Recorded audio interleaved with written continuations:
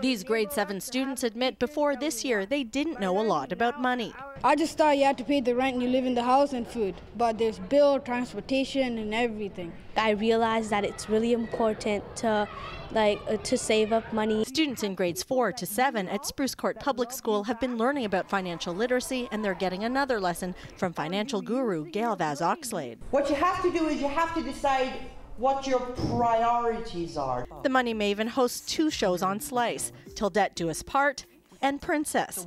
She says it's important to learn money matters when you're young. All you have to do is look at the mess our society is in, the amount of debt we're carrying, the lack of savings that we have to see why we need to start teaching our children about money early. Canada's debt to income ratio is more than 150%, meaning for every dollar of after tax income, many owe more than a dollar 50 in debt.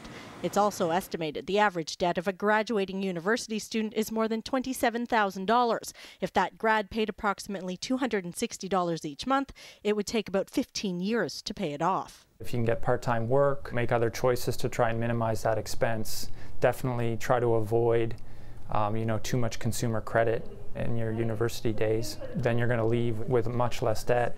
Financial literacy may not be part of your child's homework each night, but experts say children learn the most about money from their family at home. Every time you go into a store and you say, oh, this is just a beautiful blouse, I shouldn't, I really shouldn't, but I'm going to.